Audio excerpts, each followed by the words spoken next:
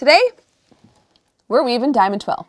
So let's get started. All right, so today is really going to be for all of you beginners out there who wanna learn how to weave diamond twill, or maybe you're someone with a little bit more experience, but you want a refresher. First, we're gonna talk about the pattern. If you wanna grab this pattern completely for free, click the link down in the description box below. On this pattern, I've laid everything out in a way so once you download it and print it out, all the directions are on it, but I'm gonna go through this with you step by step so you can really get a hang of how this works. The first thing you're gonna wanna know is that you need to warp in groups of eight. Then we're gonna add one warp string to make the pattern symmetrical and two more warp strings that will be what I call our floating warp, and we'll get into that. So as you can see, this pattern is a grid. The columns of the pattern, so everything going vertically, represents the warp strings, and the rows represent our weft strings. So that's what we're going to be weaving in. For every white block, that represents our tapestry needle going underneath a warp string, and all of the gray blocks, including the ones, the darker gray blocks, represent going over a warp string. This is all gonna become much more clear when we actually start weaving, so stick with me here. Now, before I give you just way too much information, we're gonna get started with the weaving so you can get a hold of how this is gonna come together. So you're gonna need 27 warp strings. I'm working on a four ends per inch loom, and I have used 8-8 natural cotton for my warp. I will list all the tools and materials in the description box below. And for the weft, I'm going to be using this super bulky weight yarn. It's a plied yarn, it's wool, I absolutely love it. And if you're working on a four ends per inch loom as well, you're going to want something nice and bulky for your weft or the pattern isn't really gonna come through. To keep things really simple, I'm just gonna be weaving a little sample piece of this diamond twill today. So I'm just gonna start with a twining stitch and then start weaving. So I like to work with a maximum of like three arm lengths at a time of my yarn. So I'm gonna grab a piece of that. I'm gonna grab my tapestry needle, which makes weaving twill a whole lot easier. And I'm gonna go ahead and do a twining stitch. All right, so I have my twining stitch in and now I'm ready to start weaving. You can definitely add cardstock at the bottom of your loom, but just for this example, I'm just doing a twining stitch. So we're gonna grab our patterns now.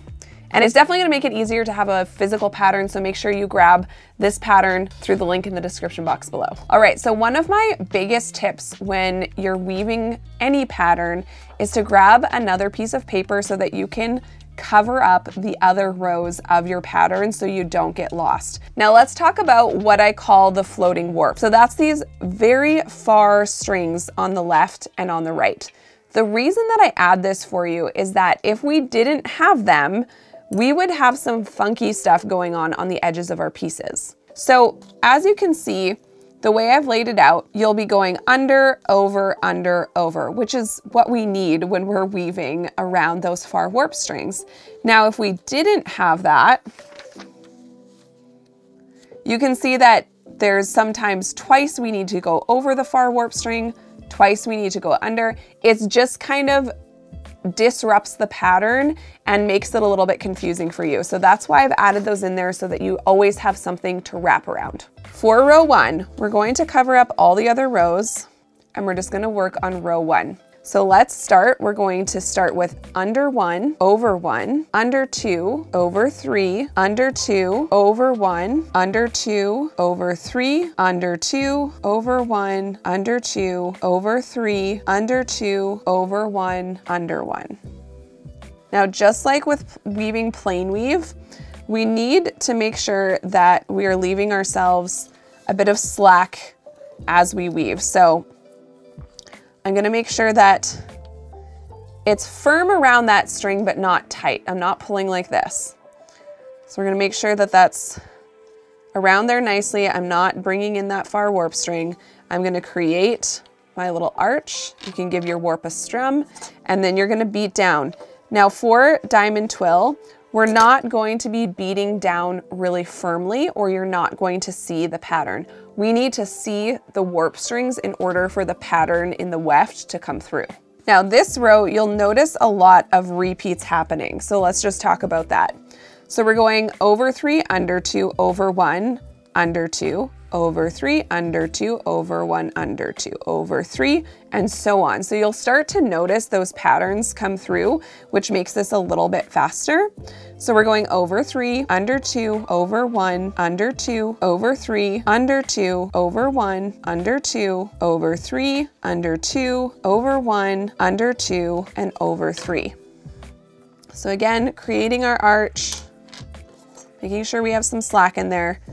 And then again, I'm not beating down hard at all.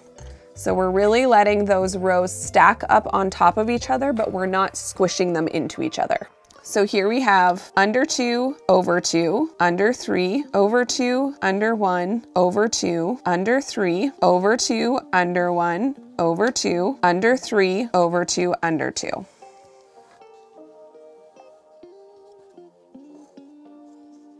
So we can start to see the shapes coming through now.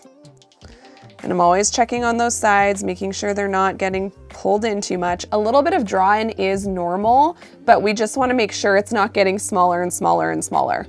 So now we can move on to row four and we're gonna go over one, under two, over two, under one, over two, under three, over two, under one, over two, under three, over two, under one, over two, under two, and over one.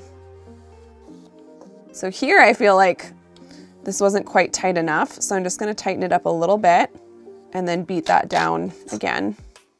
So we're on row five. We're coming from right to left. We're starting with under one, over one, under two, over three, under two, over one, under two, over three, under two, over one, under two, over three, under two, over one, under one. Now something I'm paying attention to is making sure I'm not letting these sides sort of buckle down like that. I'm being really careful to make sure that everything is remaining nice and straight horizontally. So now we're on row six, and hopefully by now you're getting the hang of this.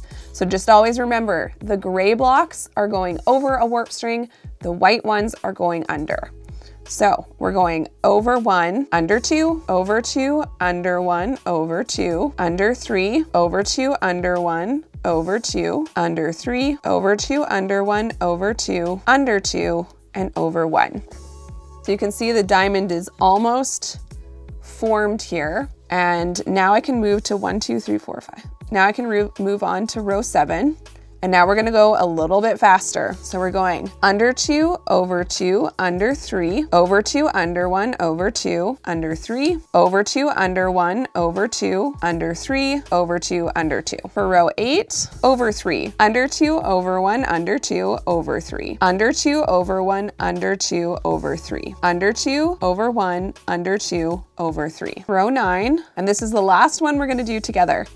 So we're going under one, over one, under two, over three, under two, over one, under two, over three, under two, over one, under two, over three, under two, over one, under one.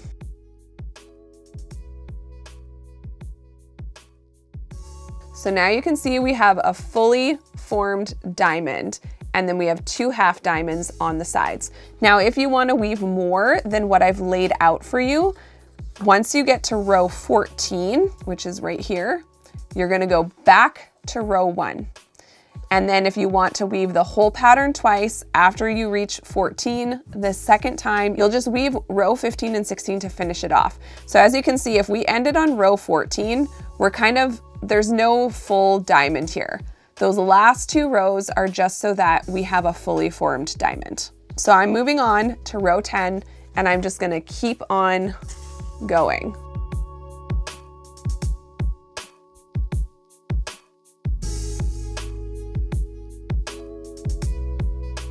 So now I've reached row 14 and I kind of want to do at least one more full row of diamonds. So I'm going to move back down to row one.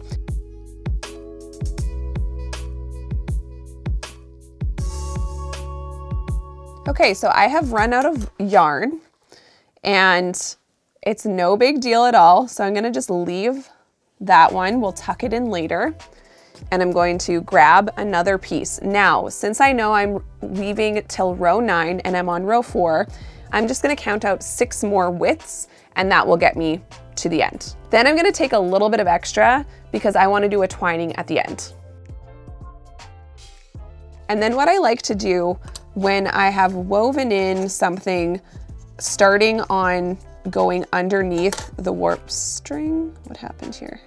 No, that's right, is I'm just gonna loop this back around the warp string like this, just so that it gives it a little bit of a cleaner finish. And even though that's kind of an extra loop around, it just, it still looks better to me. So that's how I do it.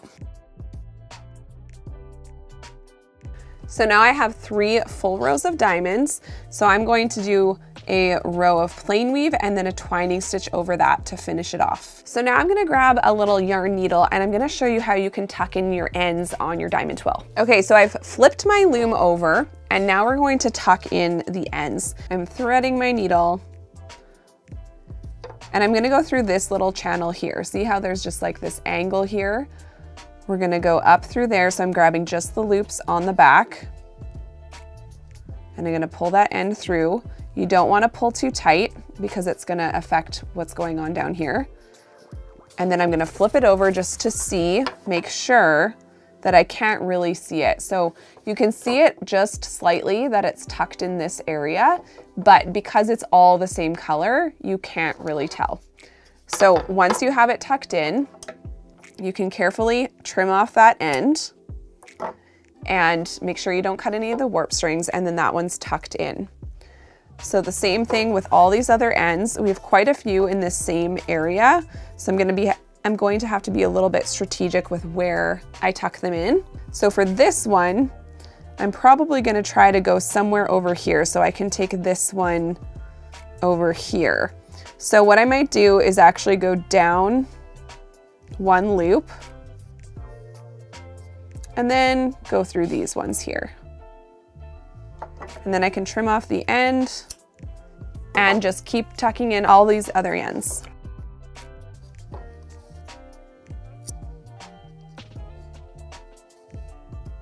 Now this one's a little tricky since we have so much going on in this same area.